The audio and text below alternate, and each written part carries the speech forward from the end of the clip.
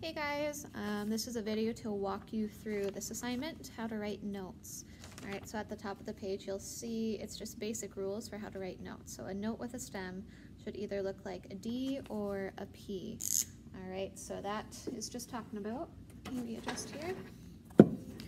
Alright, if you have a note with the stem going up, it should be on the right side of the note. So it looks like a letter D, but colored in, right?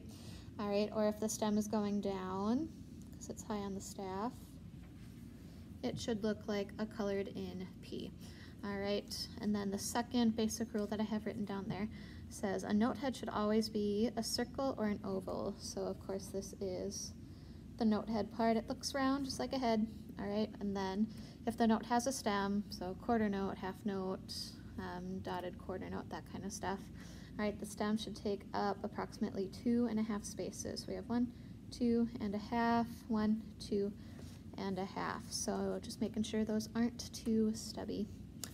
All right, so the next part of the assignment, rule number one.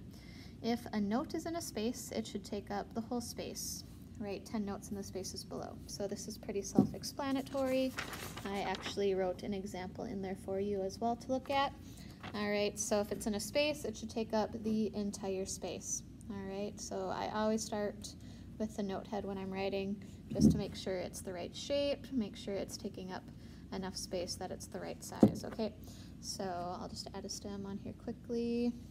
All right, so this is what I don't want to see just a tiny little baby note head. All right, and I also do not want to see mega note, where it's like taking up a space and a half.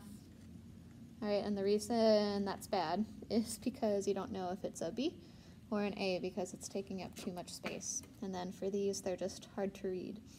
All right, so that is what number one, the rule number one is talking about.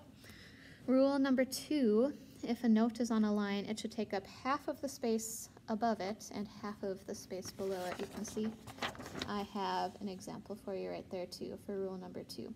All right, and it takes up half the space above and half of the space below.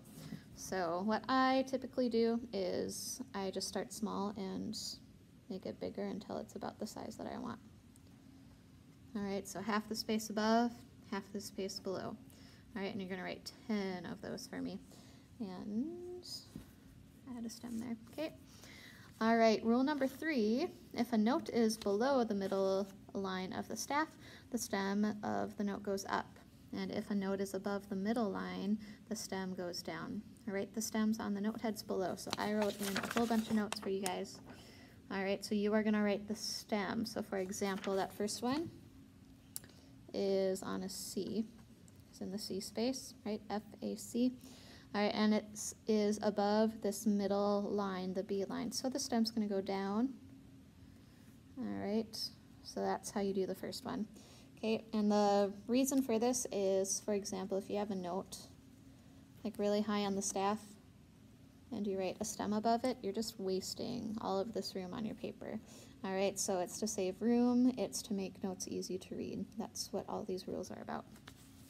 All right, so that is rule number three at the bottom of the page. At the top of the next page, all right, we've done this in class before, but I wrote some super poorly written notes. All right, so you're just gonna tell me what's wrong with each of them. So for example, number one, all right, it's pretty easy to tell what's wrong with that. You're gonna write what is wrong with number one um, at the line with for number one, and same thing for number two. You're gonna write it at two, and so on and so forth. There's six notes and six spaces for you to write it down. All right, if you have any questions, you can email me. Um, we can set up some time to get you on the right track. But hopefully, since we've done this in class before, even though it's been a while, um, you guys will have a little bit of a head start on it. So, all right, I'll see you guys later. Bye.